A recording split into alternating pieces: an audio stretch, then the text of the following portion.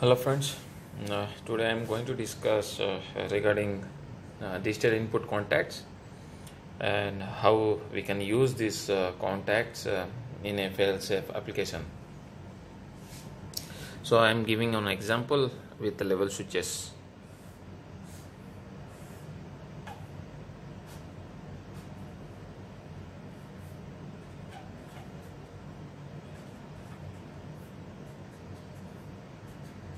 We have two level switches. One is uh, high and another one is low. The high one is rising one and the low one is falling one. So normally in digital input contacts we have uh, like in switches we have two uh, scenarios. One is rising one is uh, falling.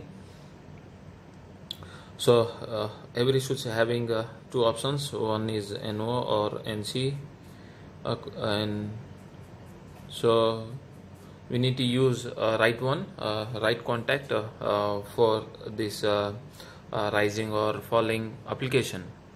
For me for falling application we should use no normal open co- contact always. And for rising one we should use always an nc contact I will. I'm going to uh, explain you uh, uh, why we need uh, this particular contact uh, for rising and falling application.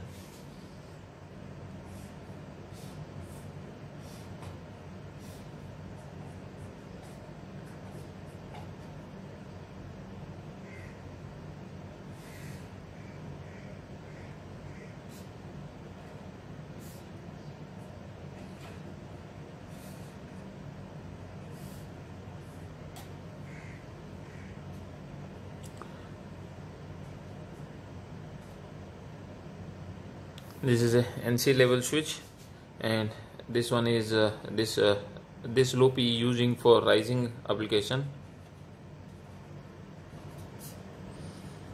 So normally uh, what happens when the level is normal uh, uh, in normal uh, in between in uh, 30 to 80 percentage the flow level switch always in in closed loop circuit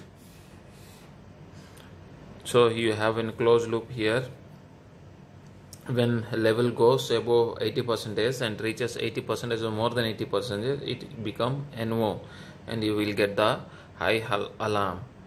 Mm, so uh, how it is uh, fail safe application uh, means uh, how the nc contact uh, will work. You see the loop always in uh, closed uh, closed loop.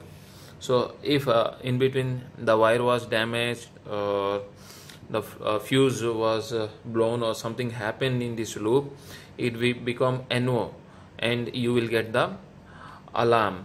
So if anything happens in the loop or the switch uh, got faulty or something happens you will get the alarm.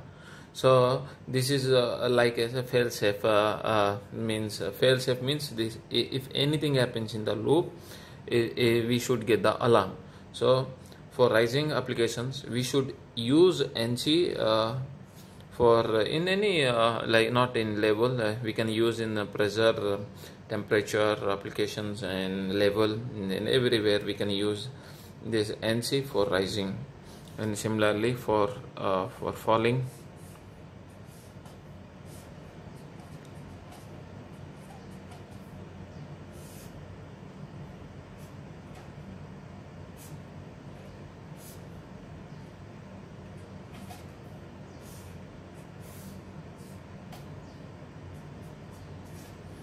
for falling uh, falling we need to use uh, uh, NO contact.